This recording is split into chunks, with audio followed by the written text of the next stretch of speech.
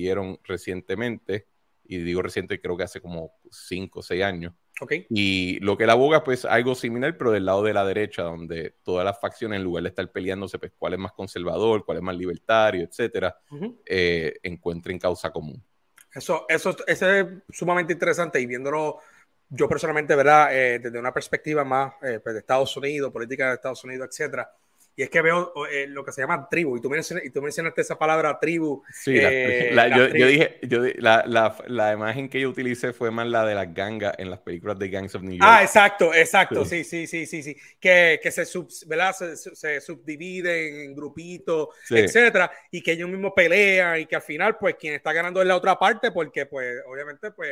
Y, eh, y al final, y al final hay un poquito de, de, de referencia a lo que era Conquer's Rule, que era una de las de las reglas, que era todo lo que no sea abiertamente que no sea en su constitución abiertamente conservador o de derecha, termina siendo de izquierda, ¿verdad? Y por, ejemplo, esa es la, eh, cuando uno ve la política del Partido Republicano en Estados Unidos, uno ve que típicamente ahora, no necesariamente eh, en los 2010 o los 2000 al principio, pues existe esta idea del Rhino, del Republican Name Only, Exacto. Eh, porque aunque hablen sobre gobierno limitado, etcétera, cuando llevan a acciones ya concretas en el poder, pues en realidad son liberales. Y, esa, esa es la dinámica. Sino, no es solamente una cuestión de que vamos a ganar una elección, es vamos a elaborar una agenda genuina de derecha y no simplemente decir, pues nuestro propósito es que la política liberal se imponga, pero que sea más lentito, por favor.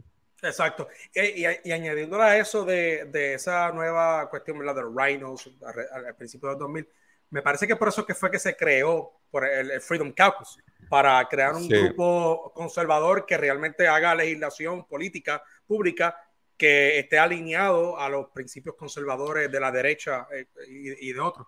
Pero el Freedom Caucus se, se, se, distinguió más como un asunto económico, eran, eran, eran fiscalmente, lo que se dice como un fiscal hawk, Exacto. Interesantemente, lo que es la nueva derecha en, en Estados Unidos es, incluye personas del Freedom Caucus, pero no, no todos. Eh, no todo el mundo que estuvo en el Freedom Caucus o en ese movimiento del Tea Party necesariamente hizo el, brinco, ¿verdad?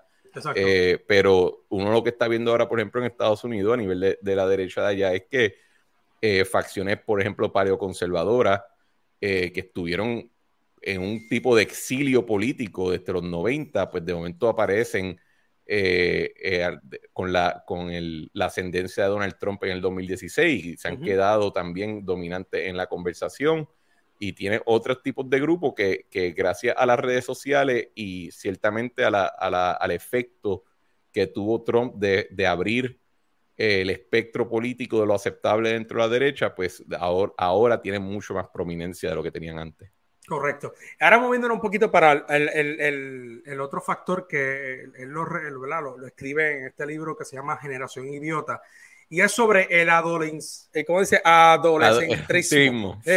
Exacto, que básicamente como que esta actitud eh, de adolescente, de adolescente entre, entre los mayores, ¿no? De que actúan realmente como jóvenes en vez de actuar como, como personas ¿verdad? adultas.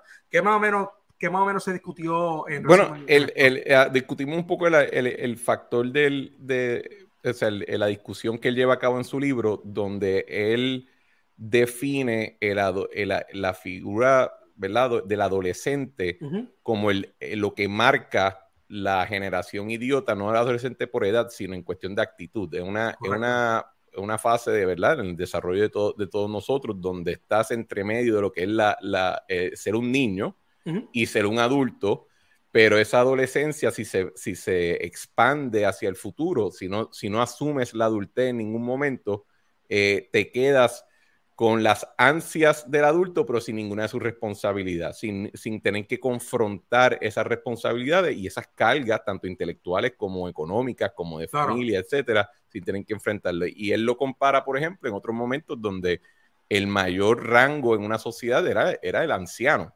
Correcto. Eh, o después cuando era el adulto. En la antigua Grecia se respetaba mucho, mucho ¿verdad? Al, anciano por el asunto de la experiencia, educación que ya, ya, ya, obtuvo, etcétera. Y si, y si uno lo piensa de la siguiente manera, ¿verdad? Muchas veces en la política actual, en el discurso político, la gente dice, oye, ¿qué, qué pensarán de nosotros en el futuro? siempre es pensando eh, en, el en, el, en el después, pero pocas veces uno escucha a alguien decir, ¿qué pensarían nuestros abuelos o nuestros bisabuelos de nosotros? ¿Cómo nos juzgan? Y no en el sentido si, si supieran lo que nosotros sabemos, sino si ellos aplicaran su juicio moral, su, su, conocimiento de la naturaleza humana, sus tradiciones, ¿qué ellos pensarían genuinamente de nosotros?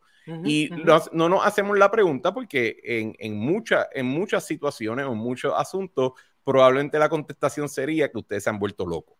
Eh, y, e, y, esa es la, la, la, eso es una comparativa de, cuál es esta cuestión de la adolescencia, donde no asumes las cargas del pasado, ¿verdad? No, no tomas la, la visión que tenía Edmund Burke de que la sociedad no es meramente un contrato social, sino es un contrato entre los muertos, los vivos y los que todavía no han llegado.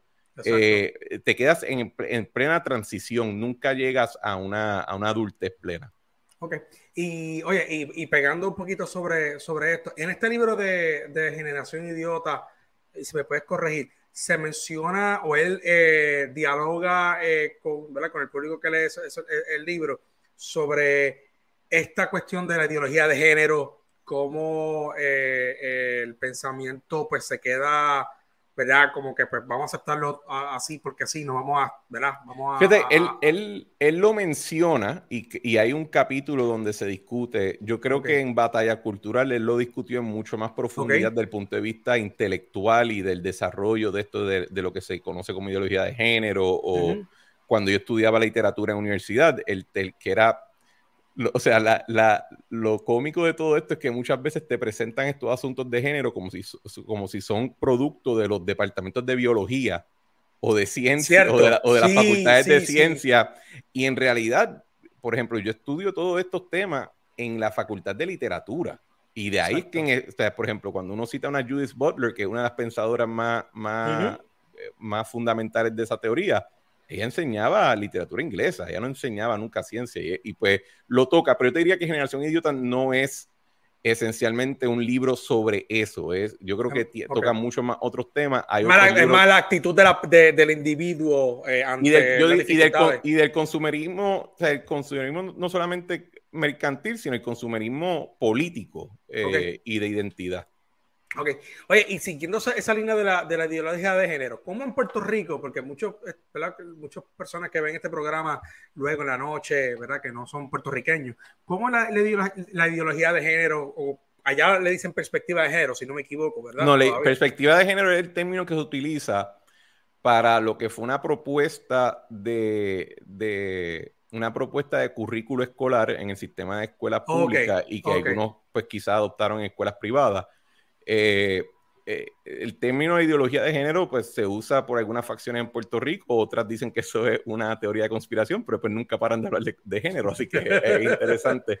Eh, mira, si tú lees las noticias o algunas noticias o si ves Twitter o algo por el estilo, te daría la impresión de que eso, está, eso es algo rampante en Puerto Rico. Yo te diría, yo creo que es un tema, y, igual de la misma manera que es un tema en toda Latinoamérica, en toda Europa, en todos los Estados Unidos, pero yo no creo que tiene todavía, todavía, el, efecto movilizador que quizás tiene en otros lugares. Esto es importante y se están viendo controversias que posiblemente te indican que en el futuro quizás puede ser un asunto de mayor, de mayor trascendencia, pero en Puerto Rico, y para serte perfectamente franco, también eh, a mí, aunque yo reconozco que es un tema que le interesa a muchas personas y no es un tema sin importancia, o sea, todo lo que tenga que afectar la crianza y la educación y el desarrollo de la niñez Es, fundamental en cualquier sociedad, pero a mí nunca me ha sido particularmente, o sea, no, no, es algo que yo tengo en mi, en mi cinco áreas. Sí, que no, no lo discute frecuentemente, claro. Bien poco, de hecho.